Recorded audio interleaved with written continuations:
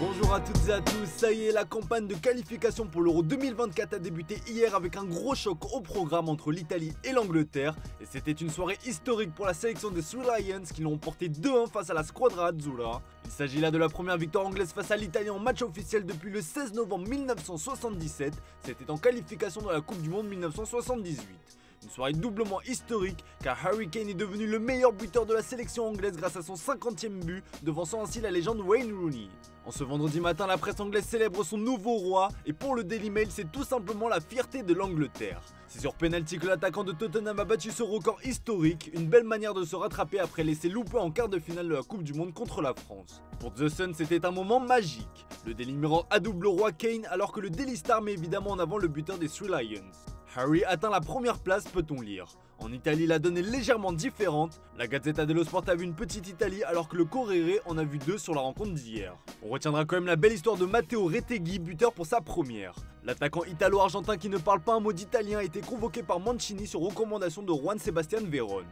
On file au Portugal et décidément c'était une soirée placée sous le signe des records hier. Pour la première de Roberto Martinez sur le banc de la sélection lusitanienne, les coéquipiers de Cristiano Ronaldo se sont baladés face au Liechtenstein, victoire 4-0. CR7 s'est offert un doublé dont un superbe coup franc, une sacrée manière pour l'attaquant d'Al Nasser de célébrer son incroyable record, puisqu'à 38 ans il est devenu avec 197 matchs le joueur le plus capé de l'histoire des sélections.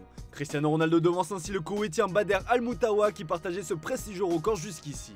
Abola nous offre cette superbe une du Portugais en titrant Je suis en vie, en réponse évidemment au doute émis sur le quintuple ballon d'or.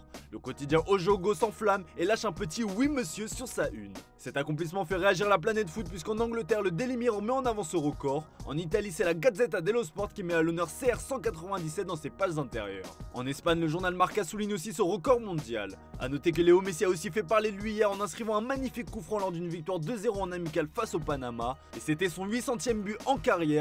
Le média argentin Olé décrypte ce matin toutes les réalisations en carrière de la Pulga. Les champions du monde argentin ont reçu un accueil triomphal. Et ce soir c'est au tour de nos héros français de faire leur grand retour devant leur public. À 20h45 la France défiera dans son entre les Pays-Bas pour les éliminatoires de l'Euro 2024. Un choc très attendu puisque cette rencontre marquera le début d'une nouvelle ère pour nos bleus. Et à sa tête le nouveau capitaine Kylian Mbappé qui aura pour mission d'ouvrir la voie comme le placard le journal L'équipe ce vendredi matin. Un hommage sera rendu ce soir aux tout jeunes retraités Lioris Mandanda, Varane et Matuidi. Parisien évoque les défis de l'après-Coupe du Monde qui attend la sélection tricolore alors que la Provence se concentre sur la première du capitaine Mbappé. L'attaquant du PSG a livré sa première conférence de presse en tant que chef de file des Bleus hier après-midi, une véritable masterclass dans la communication de la part du français. Pour cette rencontre, le sélectionneur des Oranges Ronald Koeman sera privé d'une bonne partie de ses titulaires à cause d'un virus. Le journal AD parle de catastrophe sur sa une. Delirte, De Jong, Gagpo, Bergwijn, Botman pour ne citer que ne seront pas de la partie.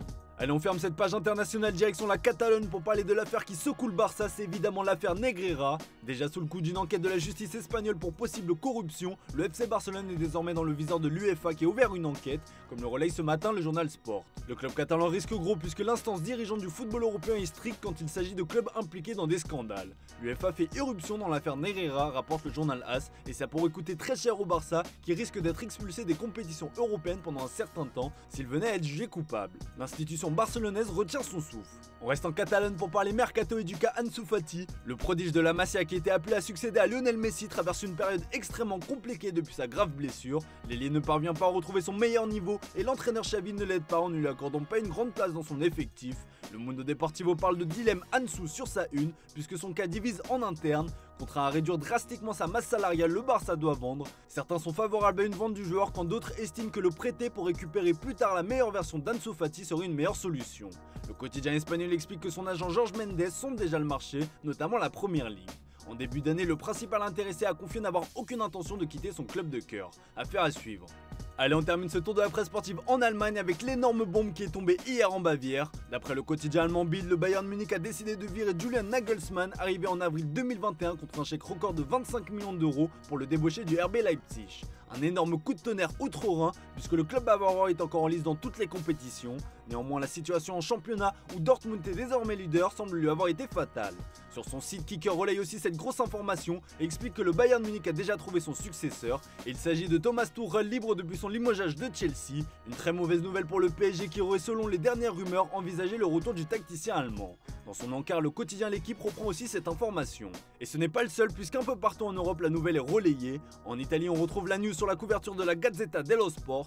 En Espagne, c'est le Mundo Deportivo qui en parle, et pour cause, Thomas Tuchel était ciblé pour remplacer Carlo Ancelotti. Désormais, le candidat qui se détache serait Mauricio Pochettino. Le quotidien espagnol explique que le tacticien argentin était déjà dans les petits papiers de Florentino Pérez par le passé. Le président du Real Madrid l'apprécie grandement. Voilà les amis, c'est tout pour ce matin. Je vous donne rendez-vous sur Twitch pour débriefer cette revue de presse. Sinon, rendez-vous ce soir pour le traditionnel JT Foot Mercato.